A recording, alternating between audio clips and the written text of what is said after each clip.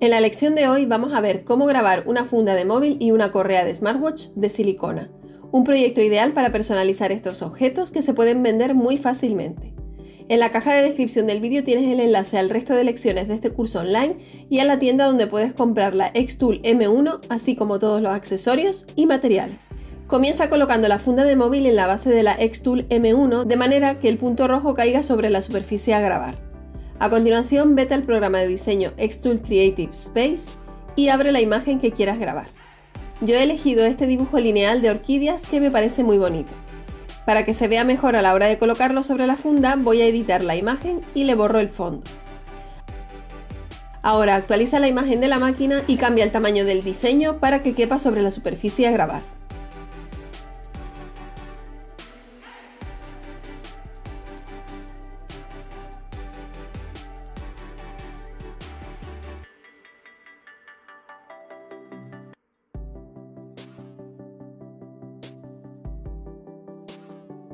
Lo siguiente que vas a hacer es la medición automática mediante este icono de la regla. Y aquí nos pone que son 11,3 milímetros. A mí me funciona ponerle unos 3 milímetros más de grosor, pero puedes saltarte este paso. Y vuelve a colocar el diseño en su lugar que se habrá movido con la medición.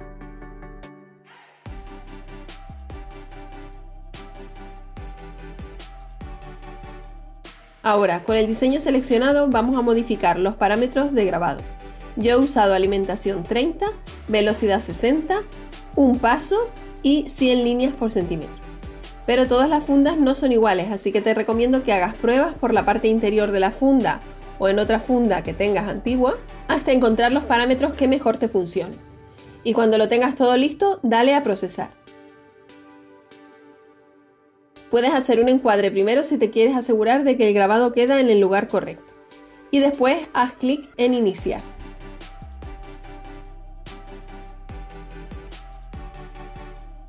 Presiona el botón frontal de la máquina y observa cómo se hace la magia. Bueno, no te recomiendo quedarte mirando porque tarda un ratito. En concreto este grabado tardó unos 17 minutos.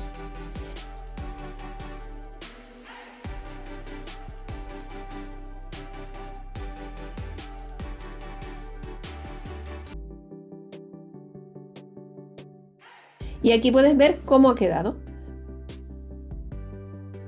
Normalmente tras el lavado se habrá acumulado algo de ceniza, así que deberás lavar la funda con agua y jabón y un cepillito para que quede perfecta y lista para usar.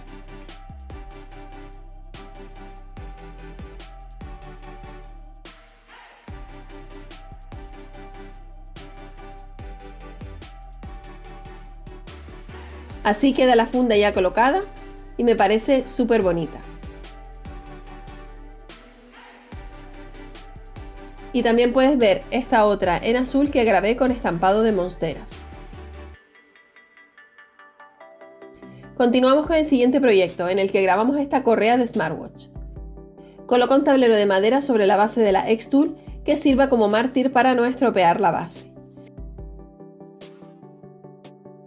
Ahora coloca las dos partes de la correa del reloj, una a continuación de la otra, sobre la base de madera, de forma que el punto rojo caiga sobre la superficie a grabar. Y puedes poner varias correas una junto a la otra. Pero yo, para que no tarde demasiado la demostración, voy a grabar solamente una parte de esta correa rosa. Para evitar que se mueva durante el grabado, te recomiendo poner cinta de doble cara sobre la madera.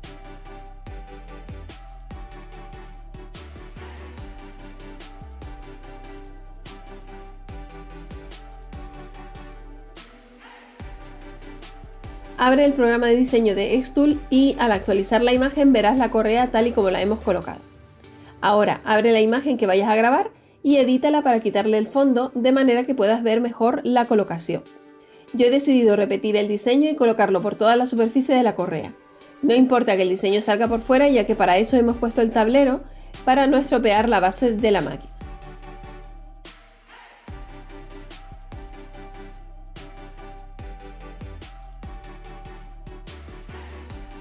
Ahora clica en el icono de la regla para hacer la medición automática y yo aquí le añado 3 milímetros igual que antes, pero eso es opcional.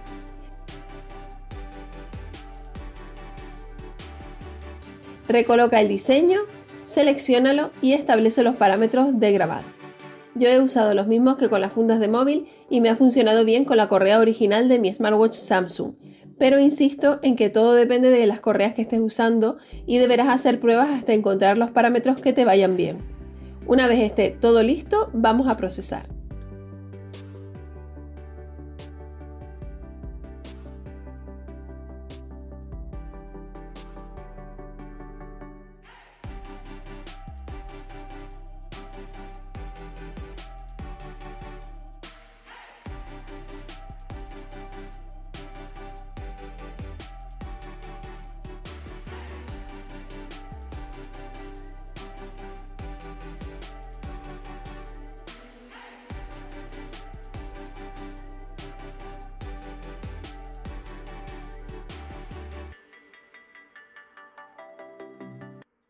De nuevo lava la correa con agua y jabón, frotando con un cepillito para quitar los restos.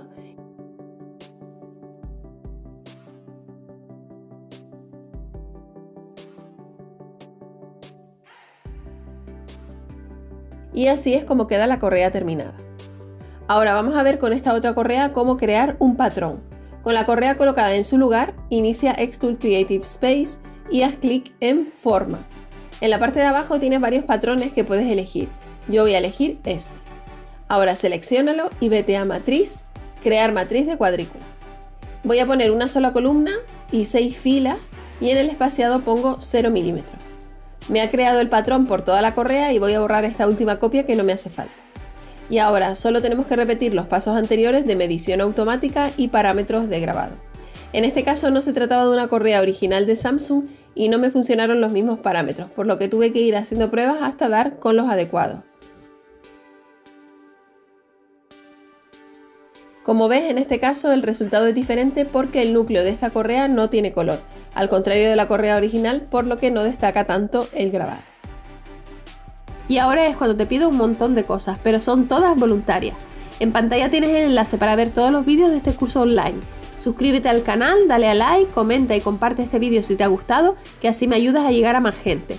Visita el blog www.lj.com para más información y tutoriales y nos vemos en el próximo vídeo. Adiós.